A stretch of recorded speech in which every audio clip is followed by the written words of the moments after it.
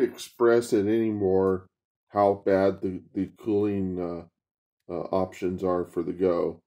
Uh, this would this would describe it. I was willing to take apart a uh, a graphics card, uh, a whole graphics card I had with a fan. I was willing to take that off, take the heatsink off of it, just to see if I could put it on my Go. Well, I can put it on my Go, but I can't ad- adhere it to it. Uh, it would require too much, and plus the thing is way too heavy for this. But this expresses an idea, uh, a feeling.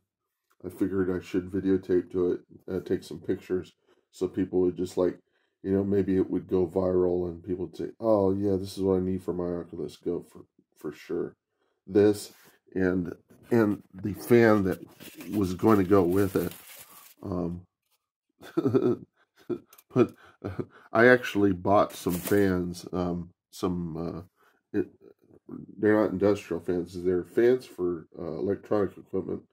I got a couple of them, and I'm going to put them on here. They're 80, 80 millimeter, so that's just small enough to stick on the goes. And we're going to see if I can get it uh, fan cool. Um, uh, and if I can, then I'll be using that uh, on my Go. They've they've got something like this, uh, a fan cooler for um for the um uh, Samsung VR headsets, and I'm just like, why not have some for the Go? Because Go's got the worst heat uh, cooling problems of any device I've ever come in contact with. This thing, you know, is it runs so hot I have to put ice packs on it. See, that's my ice pack right there.